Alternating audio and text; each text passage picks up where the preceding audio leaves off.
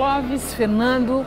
A Folha publica nesse domingo um caderno especial sobre corrupção que vai mostrar é, uma perda para o país de 40 bilhões a cada sete anos, praticamente um PIB boliviano. E vai mostrar também que os principais casos de corrupção na história recente do país permanecem em aberto, permanecem inconclusos.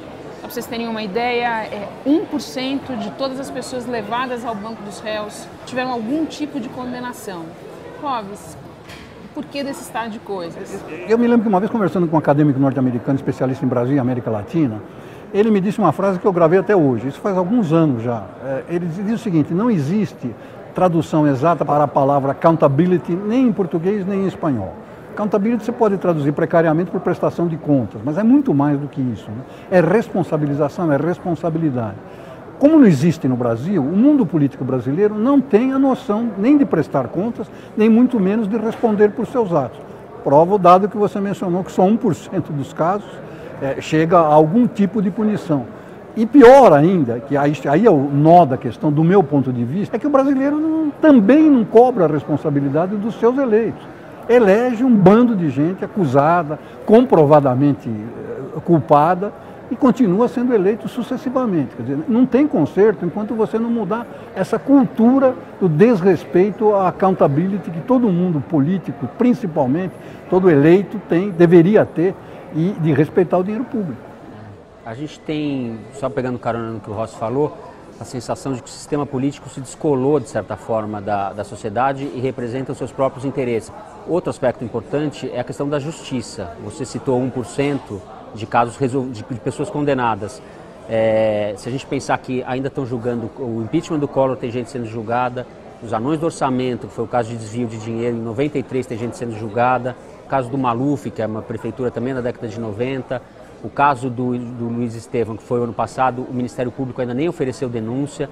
Então, é, há uma morosidade da justiça, uma sensação de impunidade que contribui muito para que as coisas sejam como são no Brasil. Pois é, nós vamos ver um vídeo é, que foi feito em cima de uma das reportagens do caderno, que é uma reportagem muito interessante, porque coloca a coisa em termos bastante práticos aqui. Em Sobradinho, na Bahia, o que era para ser um canal que ia levar água para cerca de 3 mil famílias se transformou numa obra que se arrasta há mais de 10 anos e, e por ela escoaram até agora mais de 60 milhões em dinheiro público, numa coisa que é, não deu em nada.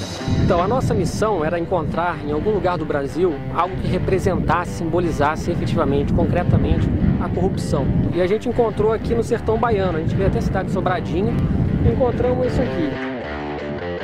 Isso aqui era para ser um canal que ligaria a represa de Sobradinho, 15 quilômetros a partir da represa, por dentro do, do sertão baiano. E essa, essa obra começou na década de 90 ainda, e desses 15 quilômetros que estavam projetados, só 5 quilômetros e meio aproximadamente foram efetivamente construídos. O governo tinha previsto cerca de 12 milhões de reais para essa obra toda, para os 15 quilômetros, e os 5 quilômetros consumiram 20 milhões. O TCU, que é o Tribunal de Contas da União, percebeu isso e mandou parar a obra por, por, conta de irregularidades graves, né, como eles dizem, dois ex-prefeitos aqui da região foram responsabilizados e vão ter que devolver para os cofres públicos 64 milhões de reais em valores corrigidos para a data de hoje.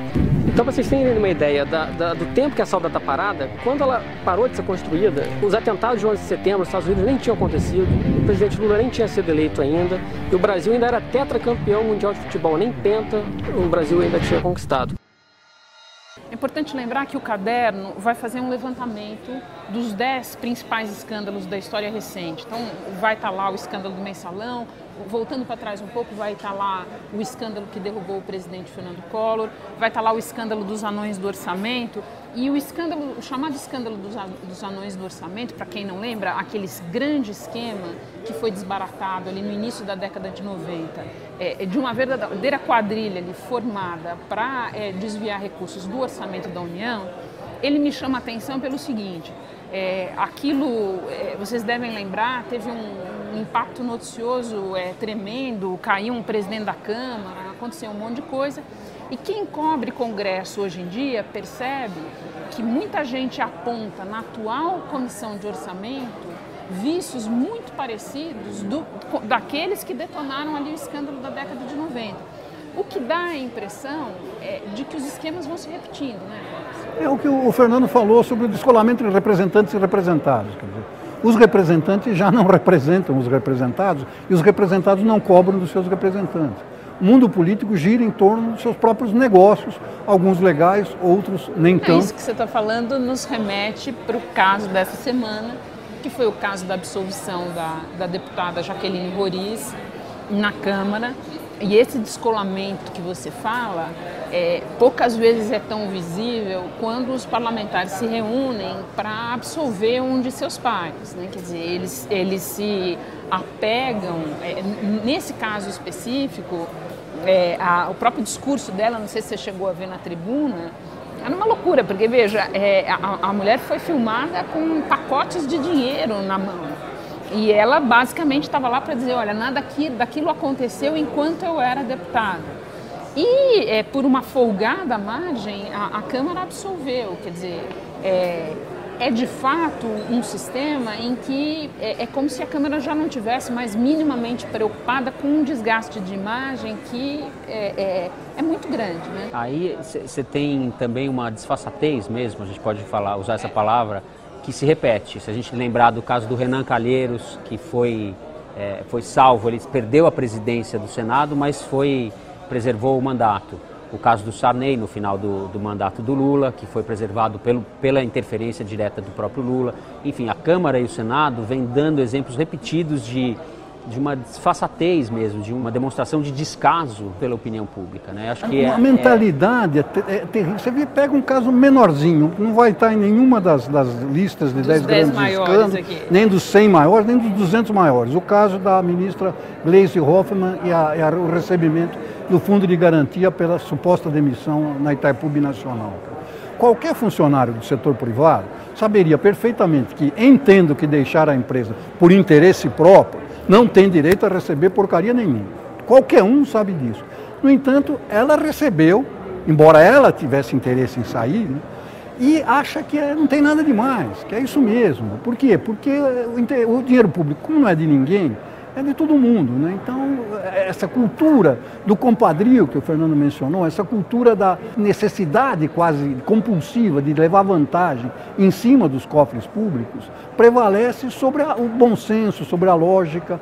Depois de tudo revelado, ela vem, vem a público para dizer: olha se causei prejuízo, eu vou devolver o dinheiro, mas eu não pensava em causar prejuízo. Meu Deus do céu, ela sabe, todo mundo sabe qual é a legislação trabalhista que vigora no país, sabe que não tem direito a receber, por que recebeu?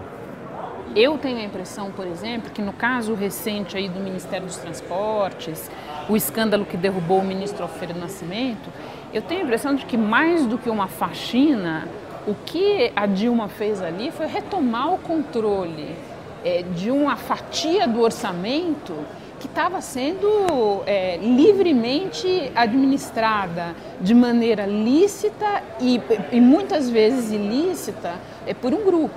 Né? Que é isso que você tem um pouco nesse esquema de você dar um ministério para um partido. Né? Olha, toma aqui, isso daqui é seu, você cuida disso. Né? E eu mais ou menos fecho os olhos porque isso, Pois é, mas aí, é, essa, essa história da faxina da Dilma me chama a atenção. É, você falou de fechar os olhos. Dizer, a Dilma foi durante cinco anos, não é isso? Chefe da Casa Civil do Lula, foi gerente, segundo o próprio Lula, foi mãe do PAC. Ou seja, ela conviveu com todos esses esquemas de corrupção como gerente, não é como um ministério, ministra da Pesca. Não, conviveu, conviveu como gerente durante cinco anos, com todos essa mesmo, esses esquemas Pelo todos. menos foi essa história que foi apresentada ao eleitor na campanha. Exatamente, porque nenhum desses esquemas foi implantado agora, na gestão dela. São todos os esquemas que vêm do governo da qual ela era gerente. Não percebeu nada? O que é? Inocente? Não, não, não presta, um gerente que não presta atenção no que estão fazendo os seus chefes de departamento? Que história é essa? Essa história está muito mal contada. Né? Como, como, também chama atenção o fato de que há, há, essa briga na chamada base aliada, etc. E tal. Quer dizer, se você chega de Marte aqui ao Brasil, você vai imaginar o seguinte: olha, eles estão brigando porque a política econômica está errada, porque a política de juros não deveria ser assim o assado, porque não está se prevenindo o suficiente contra a crise internacional, porque os projetos para a Copa do Mundo ou para coisa estão atrasados, não sei o quê. Não, eles estão brigando porque está havendo uma suposta faxina nos ministérios dos partidos aliados. Quer dizer, estão brigando pelo butim, não estão brigando por políticas. Essa, essa palavra faxina está sendo usada com uma certa liberalidade. Eu acho, eu, concordo com vocês dois. A gente deveria ser mais é, fazer uso mais restrito dessa palavra, porque é uma ilusão de faxina. Não tem. Eu tenho, para usar uma imagem que foi usada pelo Marcos Nobre, que é professor da Unicamp, num dos artigos dele, a Dilma parece estar tá se puxando do pântano que ela está atolada pelo próprio cabelo, né? Então tá ótimo. Muito obrigada, Clóvis. Muito obrigada, Fernando. Obrigado.